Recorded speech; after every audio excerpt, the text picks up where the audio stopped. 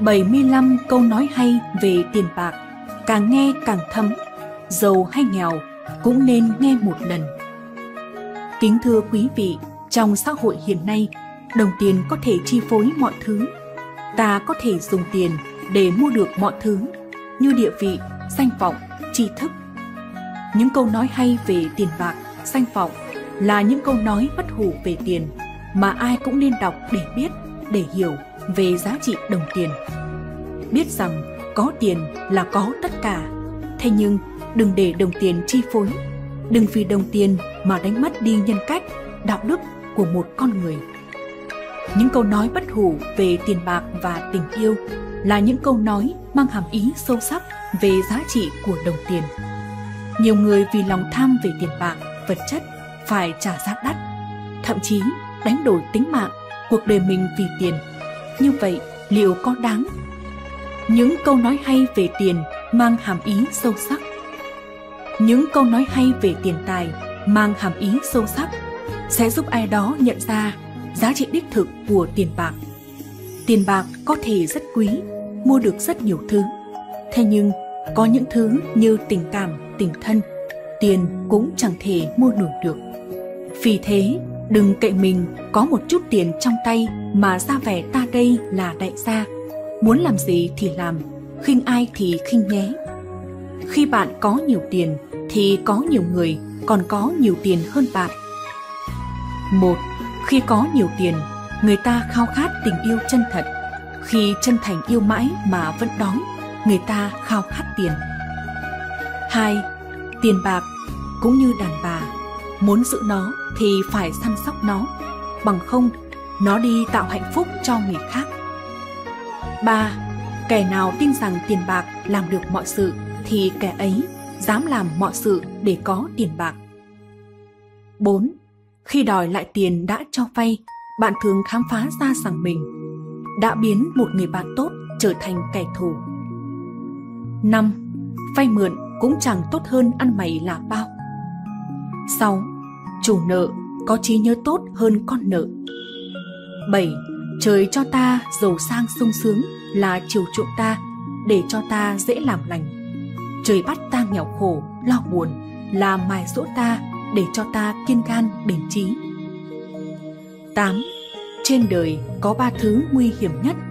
Rượu ngon làm ta mất trí, tiền bạc nhiều làm ta bất chính, vợ đẹp làm ta đau khổ nhiều. Vì rượu ngon khiến ta thích uống, tiền nhiều thường làm mở át lương chi, vợ đẹp thường hay phản bội. Vì thế tốt nhất là mất cả ba. 9. Không lo ít của bằng lo chia của không đều. 10. Có tiền mua tiền cũng được, trừ hạnh phúc.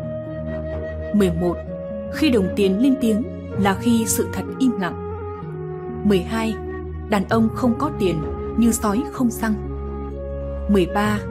Muốn biết giá trị của đồng tiền thì bạn hãy đi hỏi những người nghèo. 14. Những đồng tiền giống như những nô lệ, nếu không theo dõi, chúng sẽ đi khỏi. 15.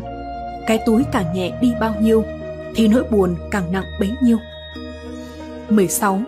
Ai không trả được bằng tiền túi, người đó phải trả bằng chính bản thân mình. 17. Tiền bạc của người giàu là ở trong túi, của người nghèo là ở trong tim. 18. Của cải đi tìm của cải. 19. Của hồi môn của nhà giàu giống như chiếc giường để gai góc, không nằm xuống thì mệt, mà nằm xuống thì đau. 20. Tiếng khóc của người thừa kế là nụ cười bị che giấu đi. Những câu nói hay về tiền bạc danh vọng đáng suy ngẫm. Có những thứ không mua được bằng tiền, có thể mua được bằng rất nhiều tiền. Đúng vậy, có tiền là có tất cả. Có tiền là có địa vị, danh vọng. Nhưng đừng vì đồng tiền vật chất mà biến con người trở thành công cụ của đồng tiền. Những câu nói hay về tiền tài danh vọng là những câu nói mang giá trị giáo dục cao. Hãy đọc và từ đó biết cách làm ra tiền, tiêu tiền một cách khôn ngoan nhất. Đừng để đồng tiền chi phối, mua chuộc, từ đó đánh mất lương tâm, nhân cách, đạo đức của một con người. 21. Tiết kiệm là một nghệ thuật lớn hơn cả việc kiếm tiền. 22. Người giàu nhất là người tiết kiệm, người nghèo nhất là người hà tiện. 23. Có quá nhiều người chi tiền họ kiếm được để mua những thứ mà họ không muốn, chỉ để gây ấn tượng với người họ không thích. 24. Nếu muốn biết giá trị của tiền bạc, hãy ra ngoài và thử vay một ít. 25. Ăn cơm cáy thì ngáy o o, ăn cơm thịt bò thì lo ngay ngáy. 26.